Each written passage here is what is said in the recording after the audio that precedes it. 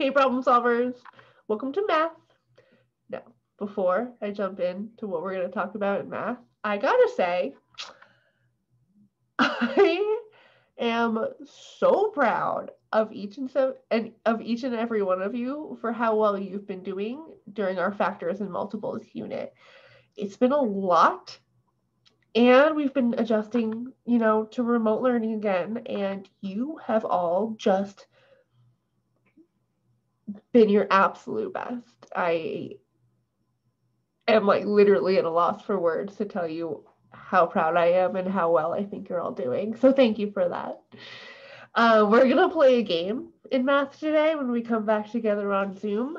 And in order to win that game, you are going to need to be um, nice and refreshed on the difference between prime and composite numbers. Who remembers what those two words mean? A prime number is a number that only has two factors, and a composite number is a number that has more than two numbers. Prime, composite. Two factors for prime, more than that for composite. Um, that being said, let's head on over to my iPad and do some review. All right, so as we see here, prime is two factors and composite is more than two factors. Just to say that as many times as possible so we all remember. Let's look at some specific numbers.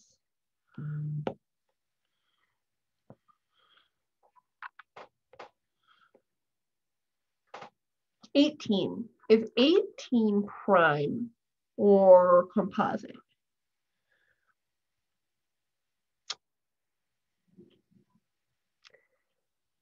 Well, we know, let, let's start by listing out the factors, right? We know that 1 times 18 equals 18.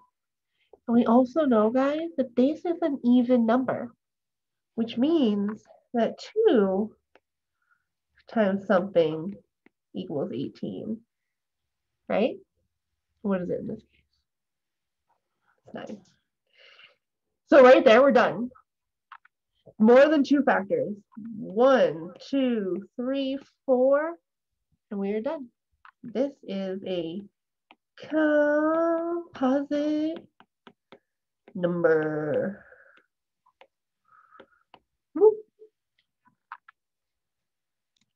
All right, let's look at another one. Let's make this one pink. Ooh, purple. Okay, what about 27? Prime or composite?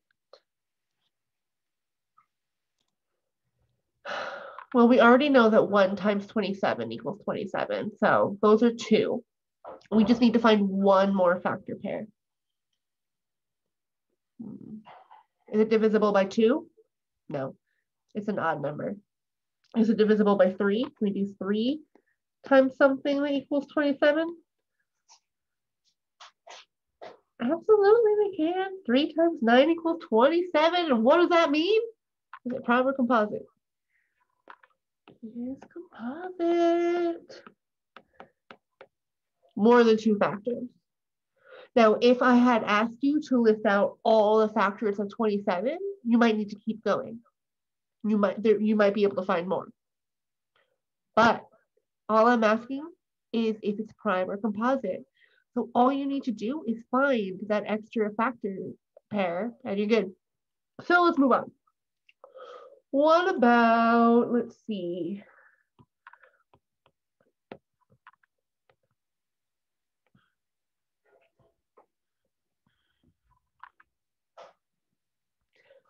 I'm going to give you a minute to think about this one before I dive in. Prime or composite?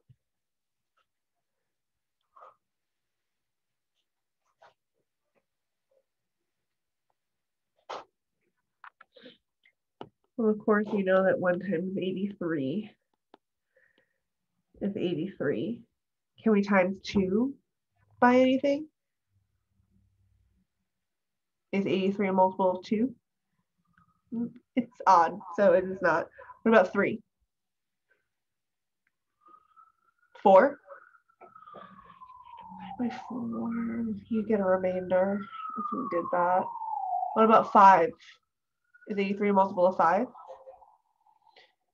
Six.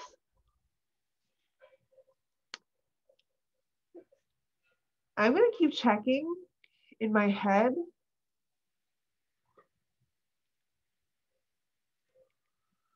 But guys, this is a prime number. 83 has no other factors except 1 and 83. It is a prime number. It's a nice color combination. Should we look at another one?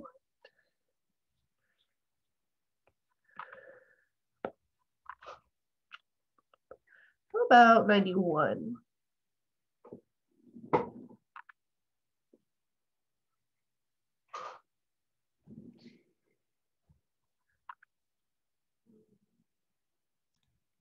Let's go through all the options. We already know that 1 times 91 equals 91. So we've got two factors here. What else? Is 91 a, a multiple of 2? No. What about 3?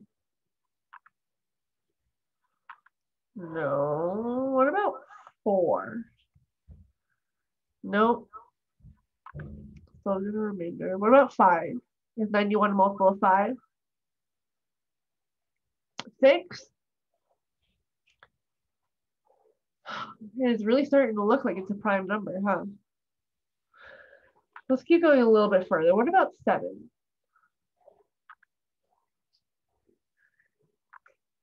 If we check our work, seven times 13 is 91, which means that even though for a while it looked like it was going to be prime, this is a composite number.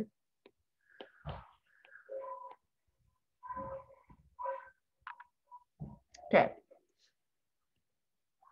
what if I give you a different kind of question? What if my question is to list all of the prime numbers that are less than 25? All of the prime numbers that are less than 25. How would you go about solving that? Well, I'm a very visual person and I like to draw out my writing, my thinking while doing math. So the first thing I'm going to do is write out all of the numbers like so. How do we find the prime numbers? How do we find the numbers that only have two factors? I think we need to start eliminating. Is one a prime number?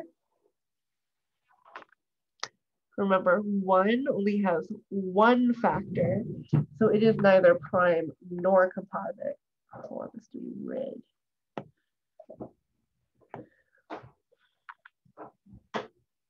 What about two?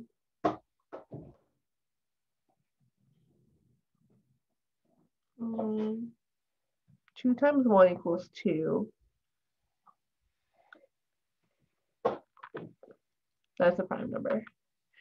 Actually, speaking of two, we can go through and after two, we can eliminate all even numbers because we know that even numbers are divisible by two or they are a multiple of two. So we can cross out this, 8, 10, 12, 14, 16, 18, 20, 22, 24. Oof, all right, that's already narrowed it down a lot. Now, what about three? Is three a prime number? It absolutely is. The only thing that you can multiply is one times three. But let's do the same thing. Let's go through and eliminate all of the multiples of three because we know that any multiple of three is a composite number. So 3, 6, 9, 10, 11, 12, 13, 14, 15, 16, 18, 19, 20, 21, 22, 23, 24. Whew, okay. Already, we're really got it narrowed down. Should we go through the multiples of five? Five is a prime number because the only thing you can multiply is one by five. Are there any multiples of five left? Five, 10 is crossed out, 15 is crossed out, 20 is crossed out. Oh, we can cross out 25 because it is a multiple of five. Should we keep going? Seven is absolutely a prime number. The only thing you can multiply is one times seven. Should we go through the multiples of seven? 14 is crossed out. One, two, three, four, five, six, seven. 21 is crossed out. And those are all multiples of uh, seven that are less than 25. What about 11? That's absolutely a prime number. Only thing you can multiply is 1 times 11. And if you don't know that off, off the top of your head, go through one by one. Check if you can multiply it by anything. Now the only multiple of 11 we have is 22, and that's already crossed out, so we're fine. 13 is prime. Only thing you can multiply is 1 times 13. We don't have any multiples of 13. 17 is prime, 19 is prime, 23 is prime. So we did it. We found the answers.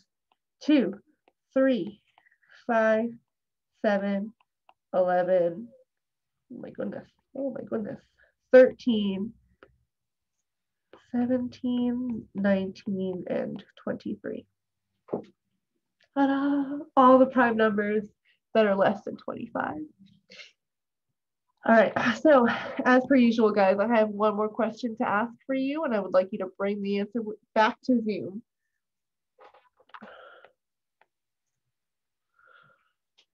Prime or composite? Think about it. Do the math, show your work if you need to, and come back to Zoom when you know the answer. I will see you then. Bye.